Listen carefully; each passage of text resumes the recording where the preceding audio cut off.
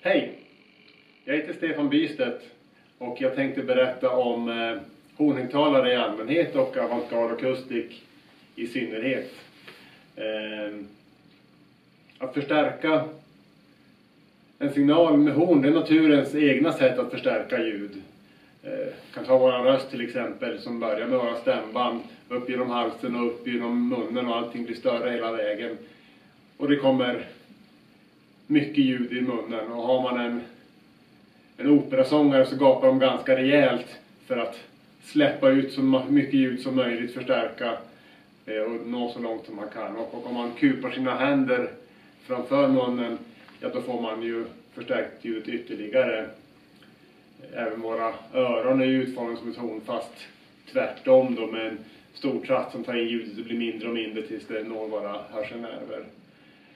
Så att eh, det är ett naturligt sätt att förstärka ljud. Eh, ja, redan de gamla grekerna eh, byggde sina amfiteatrar som sfäriska horn. Att, att man har en scen och man har en liten öppning där och sen bygger man en sluttande läktare som blir bredare och bredare. Precis som ett avantgardhorn är utformat. Så att förstärka signal, ljud med horn är det naturliga sättet att, att få upp eh, amplitud. Jag ska berätta lite grann om fördelarna med detta. Eh, varför vill man då bygga en hornhögtalare? Vad är poängen med det? Jo, man är ute efter eh, minskad distorsion, eh, ökad snabbhet, möjligheten att kanske gå ner i konarean. För det är det, de fördelarna som hornet ger. Vi kan ge ett exempel. Vi kan ta en eh, Avantgarde Uno XD. Den har ett mellanregister på 5 tum. Kan...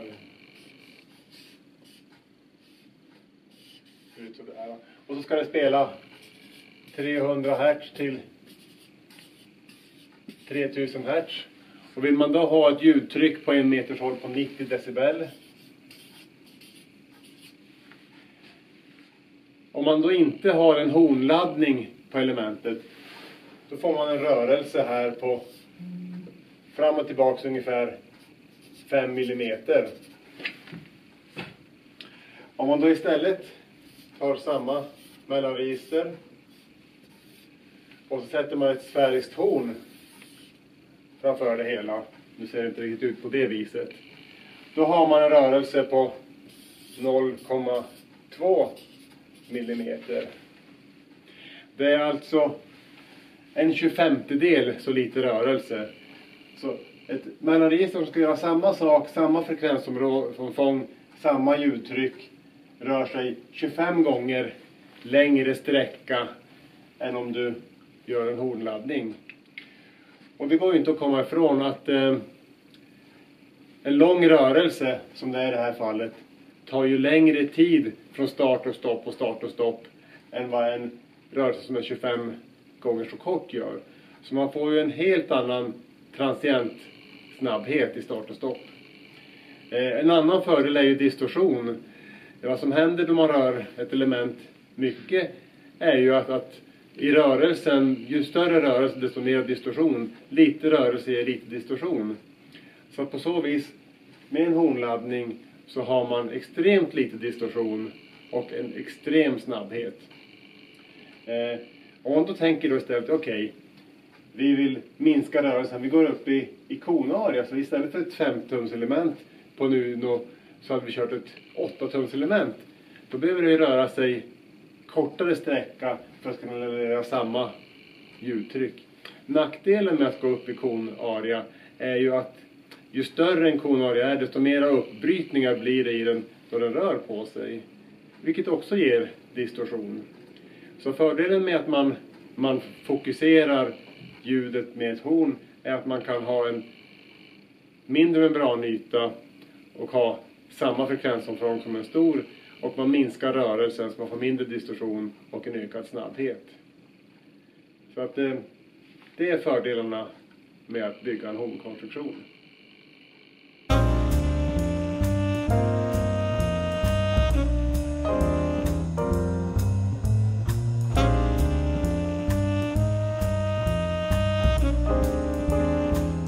Avantgarde Acoustic har gjort högtalare nu i 27 år, 2018. Eh, man fokuserar på mellanregistret, det är den viktigaste delen i högtalaren. Vi har pratat nu om fördelarna med att hornladda ett mellanregister för att få upp snabbhet, få minskad distorsion och så vidare. En annan grej som går igen i alla avantgarde-högtalare är att mellanregistret helt saknar filter. Utan det är raka rör ifrån förstärkaren rakt till membranet. Hornets utformning gör att det blir en liten luftkudde här inuti och utformningen så som är här framme gör att vi får en akustisk avrullning som motsvarar eh, ja, tredje ordningens filter nedåt och andra ordningens uppåt. Men det finns inga komponenter som bromsar, förvränger eller förstör. Utan så rakt som möjligt från förstärkaren rakt in i mellanregistret. Det gäller på alla Avantgards högtalare. Diskanten har man ett väldigt enkelt filter i för man vill inte, man kan, diskanten kan inte spela bas, då går den sönder. Eh, filtret består av en eh, spole och en kondensator. Hade man bara haft en kondensator, som många kanske har, så har kondensatorer dielektriska minnesegenskaper. Det gör att den spelar inte riktigt rent. Men om man kombinerar ihop det här med en spole så kommer man runt de problemen. Eh, känsligheten är ju, är ju en annan poäng med, med en sån här typ av högtalare. Och eh, Duo här har en känslighet på 107 decibel, så en watts effekt ger 107 decibels ljudtryck. Detsamma gäller för Uno. Zero har 104 decibel, Trio har 109. Det är alltså extremt lättdrivna och dynamiska högtalare som ställer väldigt lite krav på förstärkaren. Den måste spela rent och den måste vara tyst. Men den kommer att ha en väldigt lätt tillvaro. Den kommer att spela bättre än vad den antagligen har gjort någon annanstans. Eh, eftersom känsligheten i toppen är så hög så ska man då försöka matcha ihop det här med en, en bas så blir den ju väldigt stor om man skulle göra en hornbas. Så Avantgarde har istället valt att göra basdelen aktiv. Och det gäller också alla Avantgards högtalare. Basdelen är aktiv. I det här fallet på, på en Uno så sitter det två stycken 10 tums element i en sluten låda med 1000 watt förstärkare. Detsamma gäller Duon för att det sitter dubbla 12 tums element i en sluten låda med 1000 watt förstärkare. Att man har en så kraftig förstärkare är för att man har möjlighet att EQa basen. Alltså man, eh, man kan mäta upp rummet och man kan gå in och anpassa högtalaren efter rummet. Jag ska visa lite mer om det sen. När vi kommer upp lite grann i näringskedjan så kommer den här modellen som heter Duo Messo. Finns också som en prim och då har man ytterligare en sån låda ovanpå. Det här är precis samma högtalare som Avantgarde Duo. Precis samma horn, precis samma element, precis samma förstärkardel, för samma... Allt är likadant. Enda skillnaden är den här lådan. Man har ett kort ett kort bashorn. Det ger, eh, man kan säga hornkaraktäristik ner till ungefär 85 Hz. Så istället för att ha en sluten låda som den vanliga Duon eller Unon så har man ett kort horn. Eh, man kan tycka, har det verkligen någon betydelse? Men ja, det, det gör att den blir ännu mer homogen, ännu bättre släpp ända ner i basområdet. Trio är ju faktiskt Avantgards första modell och deras toppmodell. Eh, men principen är precis samma här. Inget delningsfilter i övre mellanregistret, inget delningsfilter i nedre mellanregistret, ett enkelt filter i diskanten. Det här stora hornet är 95 cm i diameter. Spelar ner till ungefär 100 Hz. Där delar man över på, i det här fallet, två stycken stora bashorn. Så det här är den ultimata lösningen för att ha maximalt släpp och homogenitet i ett högtalarsystem. Det blir inte närmare en konsertsal än vad ett sånt här system kan prestera. Men man ska ju ha plats för det och kanske en budget också. Lite grann om eh, placering av ett avantgarde de har en hel del fördelar som kan vara värda att lyfta fram. Eftersom det är en sluten låda med hornriktade framåt så har man ju väldigt kontrollerad spridning. Eh, man säger ungefär 120 grader sprider den. Det här gör ju att man eh, Dels kan man köra högtalaren diktan mot bakväg, den kan stå i hörn. Det som händer är att man får en förstärkning av basen, men basdelen är ju aktiv. Så det kan man gå in och kompensera för den bashöjning man får. Så man får en bra balans i ljudet. Eh, den här riktade effekten som, som blir är att eh, begränsade spridningen gör att man har eh, mindre problem med, med golvreflexer, med sidoväggar, med takreflexer. Eh, jämfört med en vanlig högtalare som skickar ljudet åt alla håll och sätter igång alla ytor som finns i närheten. Så det gör att en avantgarde på så vis är mer lättplacerad. Eh, jämfört med en vanlig högtalare, en vanlig högtalare har ju alla element i olika spridningsmönster. Man kan säga, säga att, att, att diskant och mellanregister och bas, det blir som en, som en julgran i sitt spridningsmönster. Med avantgarde så har man en kontrollerad spridning på diskant och mellanregister. Det gör att även off-axis så låter de mycket homogenare än vad en vanlig högtalare skulle göra.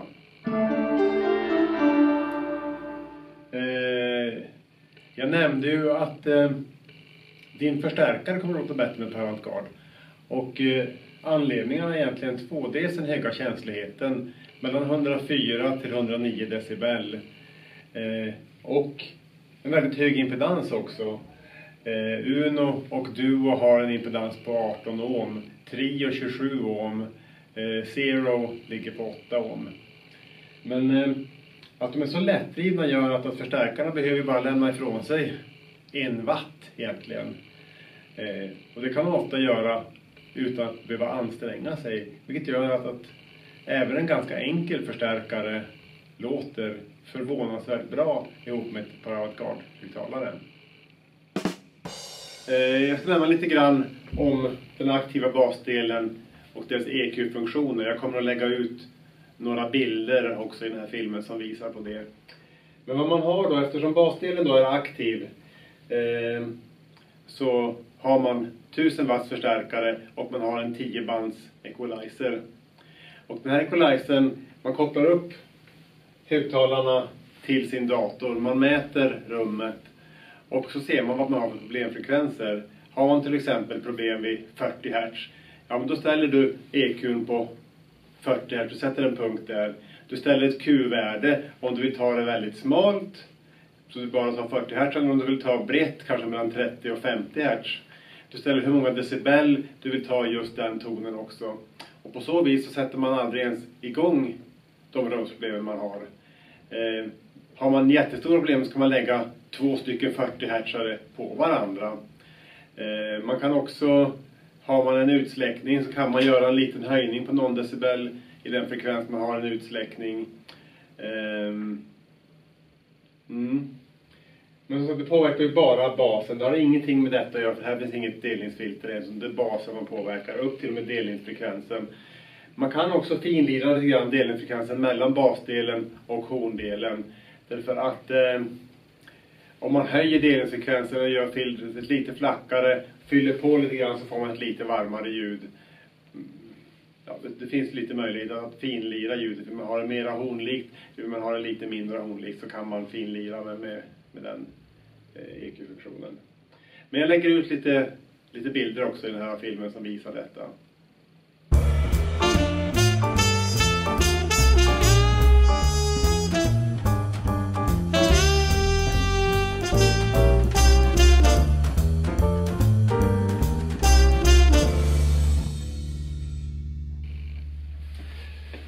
Slutligen då, hur låter det på avantgarde? Det är ju ändå det som är det viktiga. Och vi som lever med dem i butiken, jag har ett avantgarde hemma. Jag har svårt att tänka mig någon annan högtalare. Alla hö andra högtalare låter instängda, återhållna, odynamiska. För här är det verkligen från ingenting till full dynamik till ingenting igen. Så att musik som klassisk musik eller sånt blir ju otroligt mycket mera intressant. Dessutom så har man en, en högtalare som verkligen är fullregister som spelar 18 Hz till 20 kHz. Man har möjligheten att anpassa dem i ett rum som kanske inte är optimalt men man kan ändå till viss del hjälpa till och få det att fungera lite bättre. Eh, live brukar många säga, säga att man tycker att avantgarde låter och det är väl en väldigt bra beskrivning. Just man har de här stora, extremt snabba start och stoppfrekvenserna. Man har ingen distorsion, man har den höga känsligheten, man får detaljer på ett sätt man aldrig har hört förut därför att ingenting försvinner i filter eller i konrörelse. Eh, vilket gör att man hör upp till tio gånger mer detaljer i en avantgarde-högtalare än en vanlig traditionell högtalare. Så att eh, vi tycker det här är världens bästa högtalare. Varför bygger inte alla horn då? Magico, eh, som ni känner till kanske, eh, en amerikansk high-tillverkare gör fantastiska högtalare byggda i aluminium. Deras toppmodell, The Ultimate, är en sjuvägs hornkonstruktion, kostar 6 miljoner.